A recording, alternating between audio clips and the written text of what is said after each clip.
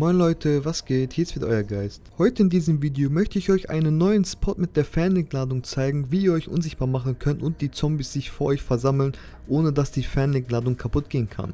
Als allererstes müsst ihr Packer Punch aktivieren, dann drückt ihr den roten Knopf und dann müsst ihr auf eure Waffe tote Leitung drauf machen.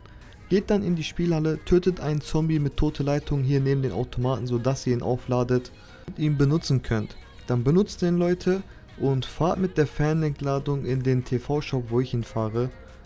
Und dann müsst ihr nämlich diesen äh, Lüftungsschacht da einmal kaputt machen. Das macht ihr einfach, indem ihr euch da vorstellt und dann geht es kaputt. So, jetzt braucht ihr noch eine zweite Fernlenkladung. Dann begebt euch dorthin, wo ich hingehe.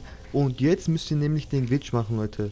Ihr braucht eine Waffe, die schnell äh, wechselt, zum Beispiel eine MP, die Shotgun oder Messer.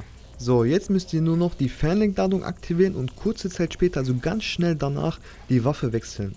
Also Leute, Fernlenkladung aktivieren, danach ganz schnell auf Waffe wechseln und dann habt ihr kurz die Fernbedienung in der Hand und ihr wechselt zu der Waffe. Wenn das bei euch auch so aussah, dann habt ihr alles richtig gemacht. Jetzt müsst ihr mit der Fernlenkladung einfach hier reinfahren, rechts in die Ecke und ihr müsst euch genauso hinstellen wie ich Leute. Unter diesem Regal so ein bisschen weiter nach vorne und danach die Fernentladung sprengen und wenn ihr das richtig gemacht habt, dann bleibt sie da. So, wenn ihr euch jetzt hier in die Ecke stellt, dann versammeln sich alle Zombies vor euch oder die kommen rechts vom Fenster von euch raus oder die sind hier links äh, in dem TV-Shop am Fenster.